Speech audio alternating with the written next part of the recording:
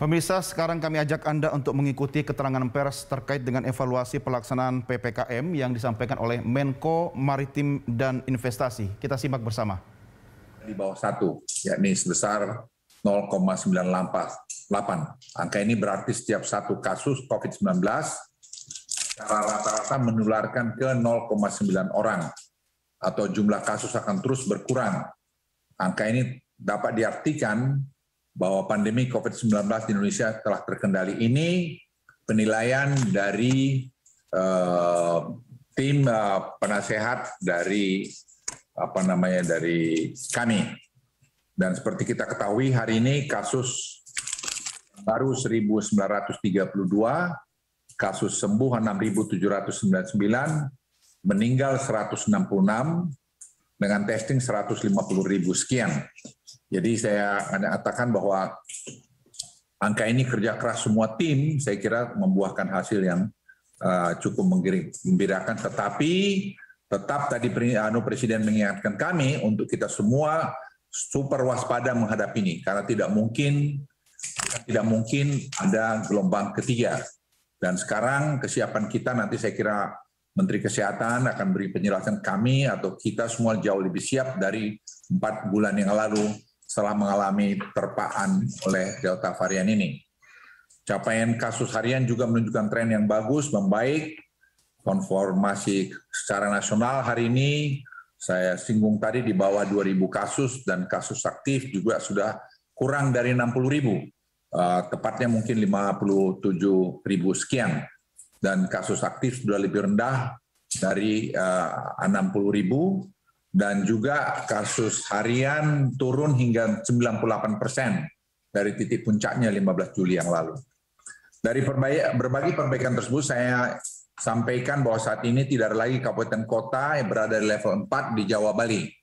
Jadi semua pada level 3, 2. Berbagai capaian tersebut tentu harus kita syukuri, namun demikian Presiden dalam ratas tadi pagi mengingatkan kami semua mengingatkan kita semua agar tidak agar kita tetap waspada dan hati-hati karena banyak negara uh, setelah beberapa saat seperti ini terus kemudian naik lagi dengan uh, cepat. Nah ini harus kita waspadai. Risiko peningkatan kasus masih tinggi dan dapat terjadi waktu-waktu. Salah satu risiko berasal dari luar negeri, terutama melihat kasus tingginya COVID-19 di negara-negara tetangga. Kita tidak juga ingin kecolongan lolosnya varian baru seperti MU dan Lambda masuk ke Indonesia. Oleh karena itu, untuk mencegah hal terjadi, terjadi pemerintah akan membatasi pintu masuk perjalanan internasional ke Indonesia dan memperketat proses karantina bagi warga negara asing maupun Indonesia yang datang dari luar negeri. Khusus untuk pintu masuk udara hanya dibuka di Jakarta dan Manado. Untuk laut hanya di Batam dan Tanjung Pinang. Untuk jalur darat hanya dibuka di Aruk, Entikong, Nunukan, dan Motain. Ini kita belajar dari peristiwa yang lalu, di mana kita juga melakukan mungkin kesalahan. Kita tidak ingin mengulangi kesalahan itu lagi. Proses karantina juga dijalankan dengan ketat tanpa terkecuali. Dengan waktu karantina 8 hari, melakukan PCR sebanyak tiga kali. Selain itu, pemerintah juga meningkatkan kapasitas karantina dan testing, terutama di pintu masuk uh, darat TNI dan Polri akan ditugaskan untuk melakukan peningkatan pengawasan di jalur-jalur tikus baik di darat maupun laut yang jumlahnya bisa beberapa ratus. Sesuai arahan Presiden, kami di Kabinet juga sudah diminta mengantisipasi kemungkinan terjadi gelombang baru ke depan. Dan berdasarkan salah satu studi di Scientific Report berjudul Multi, Multi-Wave Pandemic Dynamics Explanation, how to tame the next wave of infectious disease. Nah, tim mempelajari ini dengan cermat. Kunci menahan gelombang baru adalah pengendalian jumlah kasus dalam masa strolling atau masa sekarang kasus rendah. Kasus rendah ini betul-betul kami manfaatkan untuk melakukan konsolidasi. Oleh karena itu kita jangan cepat-cepat uh, euforia terhadap ini karena sangat mungkin terjadi hal-hal ini luar dugaan kita karena masih banyak ketidaktahuan kita mengenai delta varian ini atau semangsanya. Dalam studi tersebut jumlah kasus disarankan ditahan pada tingkat 10 kasus per juta penduduk per hari atau dalam kasus Indonesia di sekitar 2.700 sampai 3 ribuan kasus. Saya yakin kita bisa mengendalikan kasus pada angka tersebut dan kuncinya adalah 3T, 3M, serta penggunaan uh, peduli lindungi dan vaksin yang masif. Uh, program vaksin saya kira berjalan dan kita berharap lansia juga itu segera semua divaksin karena yang divaksin lansia masih agak kecil. Dalam pelaksanaan PPKM, meski jumlah kasus sudah turun signifikan, tetapi jumlah testing terus mengalami peningkatan sehingga positivity rate mampu diturunkan hingga di bawah standar WHO sebesar 5 persen. Saat ini angka positivity rate Indonesia berada di bawah 2 persen. Hal ini lagi-lagi mengindikasikan penanganan pandemi yang sudah berjalan baik dan sesuai acuan WHO. Selain itu, jumlah yang di tracing dari hari ke hari juga terus meningkat. Saat ini proporsi kabupaten kota di Jawa Bali dengan tingkat tracing di bawah 5 persen hanya 36 eh, persen dari total. Ke depan, testing tracing dikombinasikan dengan isolasi terpusat menjadi bagian penting dengan mengidentifikasi secara dini potensi penyebaran kasus COVID-19 dan juga penggunaan peduli lindungi yang makin uh, baik. Dan nanti kita mungkin dengarkan dari Menteri Kesehatan bagaimana peduli lindungi sekarang makin dilempekapi, makin disempurnakan sehingga kita bisa mendeteksi dengan cepat bila terjadi penyebaran kasus-kasus ini lagi.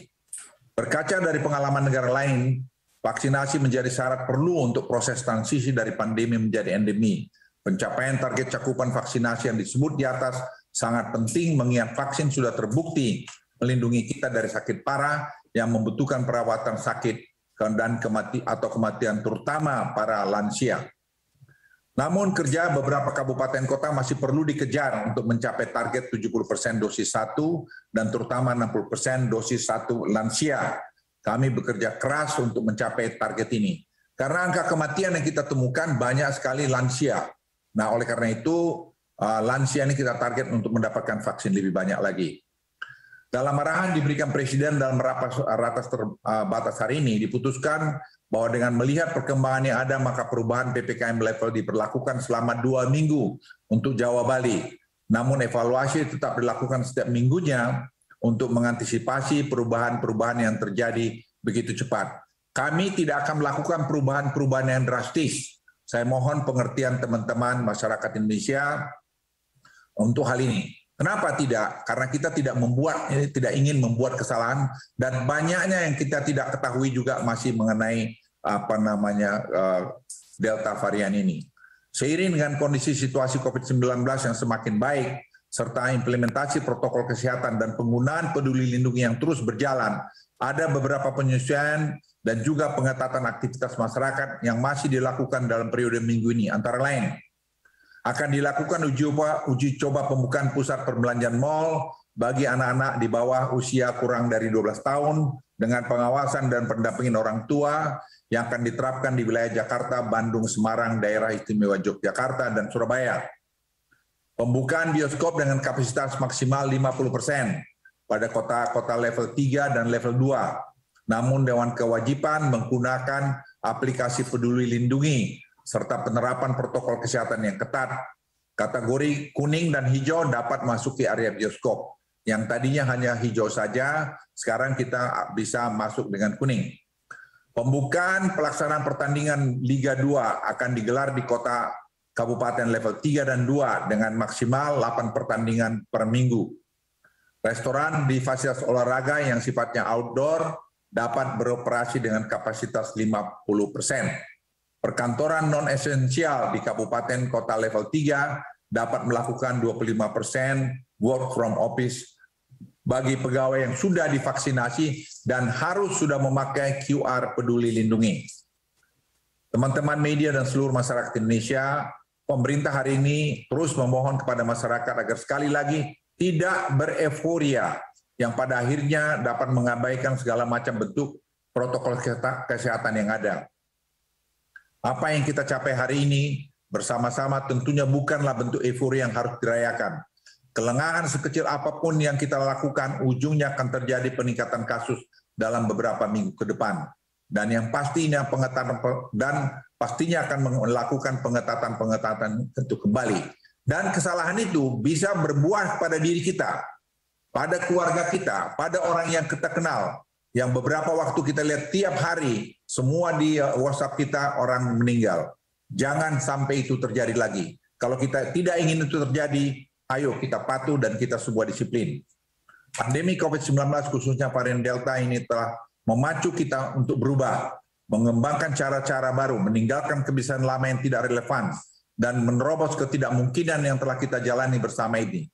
Untuk itu kesadaran dan keterlibatan serta dukungan semua pihak mutlak dibutuhkan selama pandemi masih berlangsung. Menjaga ego pribadi demi pulihnya negeri inilah yang sesungguhnya dibutuhkan saat ini. Di akhir saya tentunya tidak bosan mengajak agar kita semua berdoa, memanjatkan doa sekaligus berupaya untuk tidak lengah dalam protokol kesehatan. Semoga Tuhan yang Maha Kasih selalu memberikan kesehatan, kekuatan, dan ridhoi serta memberikan kemudahan bagi kita semua agar kita selalu, agar kita selalu dan dapat keluar dari pandemi COVID-19 ini. Sekian terima kasih. Wassalamualaikum warahmatullahi wabarakatuh. Saya persilakan uh, uh, Pak Erlangga, Menko Perekonomian untuk memberikan penjelasan. Ya pemirsa, demikian tadi kita ikuti keterangan pers yang disampaikan oleh Menko Kemaritiman dan Investasi Luhut Binsar Panjaitan. Hingga saat ini evaluasi PPKM masih berlanjut dengan keterangan dari Menko Perekonomian dan juga Menteri Kesehatan. Dan catatan tadi disampaikan bahwa pemerintah berharap jangan terjadi masyarakat kemudian lengah terhadap protokol kesehatan dan jangan sampai terjadi euforia sehingga mengabaikan protokol kesehatan itu sebabnya pemerintah tetap berharap apa pun level PPKM yang nanti akan diumumkan, masyarakat tetap patuh pada protokol kesehatan.